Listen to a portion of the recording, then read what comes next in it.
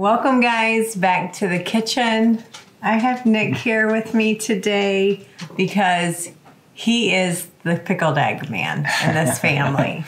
and that's where I learned about it from. And I remember going to the bar with you up in, uh, you know, Houghton, Yep. and there was just like the pub eggs, which was the inspiration of this, just sitting on the bar. I was like, hmm, I wonder if I would like it.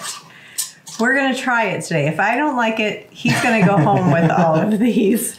Um, but I thought it's fun. Hopefully, I like it. What I'm thinking, Nick, is this is gonna be just an easy, quick snack lunch for me. I know your dad won't like them, but I'm thinking I will. So this was just basically straight. I'm trying to not use my hands. Straight.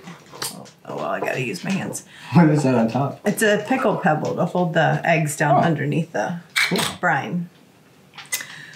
Straight vinegar and spices. And you said you like them this way Yeah. over the beets. Yes. Yep. Okay.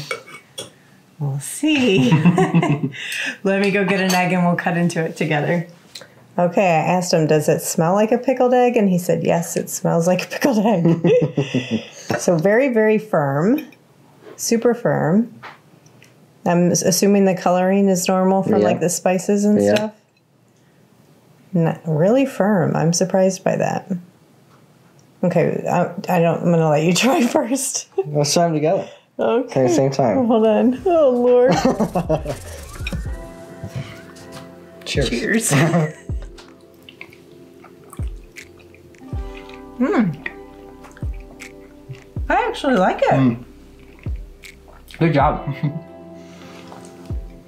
Not, guys. It's really not over vinegary powering. No.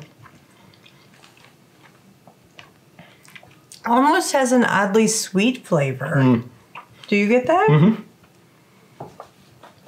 Interesting. Todd, you should try it. I will really, really like this, even just sliced on toast for breakfast. I think it would be amazing. Sorry, Nick. I'll share some with you. No, that's fine. Yeah, they put on lots of things up there, so Do use it for a Like, lot of uh, things. What other kind of things? I mean, I've seen it in. I mean, they had, like I said, you did it in toast. I saw it on English muffins. Mm. I've seen it on just sandwiches, like just make like a ham sandwich and put sliced Oh, uh, pickled eggs on it. Burgers. I think I saw it on a burger one time. Yeah. Guys, excellent. That this is just straight vinegar. I tell you what, next time I get the opportunity to do this now, the chickens aren't laying that much to this winter. But the next time I get the opportunity, I want to try like half apple cider vinegar, half white vinegar to see what I think about that. So it worked.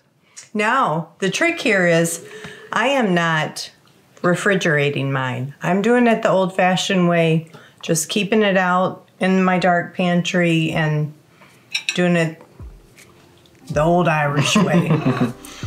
so, see you guys on the next video. Thanks for being here with me. Absolutely. Go ahead, you can have that one. I'll get you a jar.